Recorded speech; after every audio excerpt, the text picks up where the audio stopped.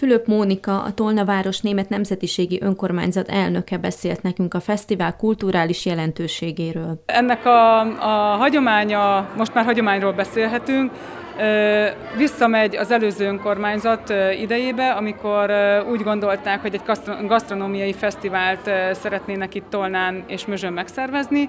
Az alapját a Kerva Strudel adta, ami élesztős tésztából készült kelt süteményeket jelent németül mivel ez hagyományosan ünnepi sütemények voltak, keresztelőn, karácsonykor, húsvétkor sütötték itt Mözs település részen, és ezt a hagyományt szerették volna tovább vinni az előző önkormányzatba, amit mi nagy örömmel folytattunk a, a, a, tehát a mostani időkig is de ugye ne csak gasztronómiai fesztivál legyen, ezért kulturális eseménye, es, kulturális programokkal is kiegészítettük.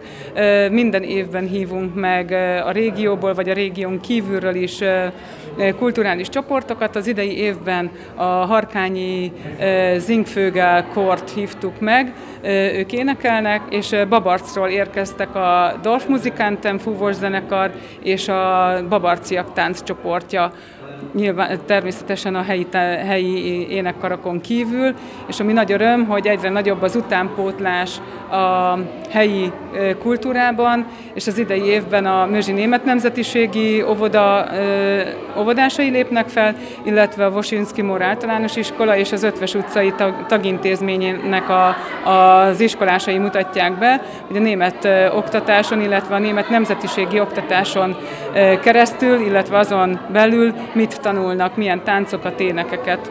A süteményes asztalokat végignézve nagy dilemmába keveredtünk, hogy milyen kalácsokat válasszunk. Hihetetlen kínálattal és szemet gyönyörködtető édességekkel fogadták az éhes szájakat. Sós és édes sütemények.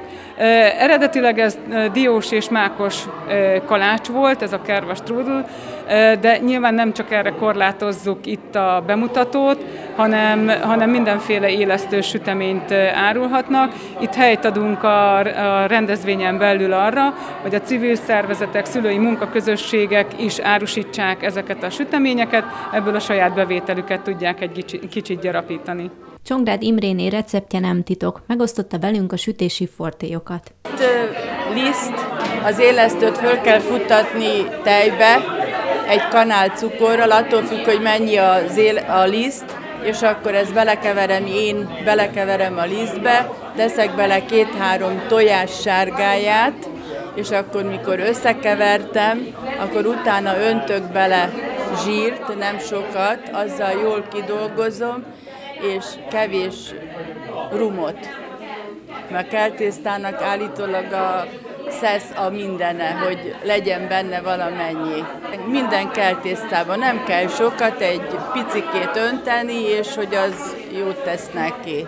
Most már harmadik, negyedik éve vagyunk. Hát mi a Mözsi Nyugdíjas Klubhoz tartozunk, az itt működik, és akkor így most már negyedik éve el szoktunk jönni, besegítünk, árulunk, és hát itt ez a mi csapatunk, ez a nyugdíjas csapat, és akkor ki mit süt, azt áruljuk, azt adjuk.